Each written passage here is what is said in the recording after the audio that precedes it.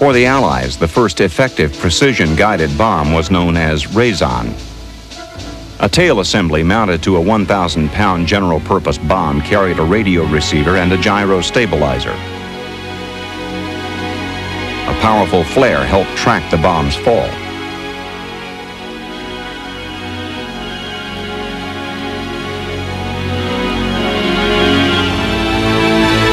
The operator's control stick could adjust the rudders and elevators as the bomb fell to its target.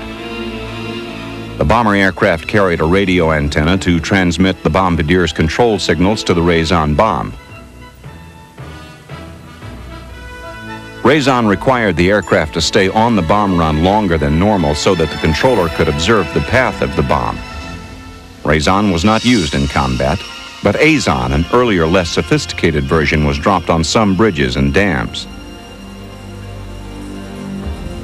This first smart bomb proved to be 30 times more accurate than a conventional bomb.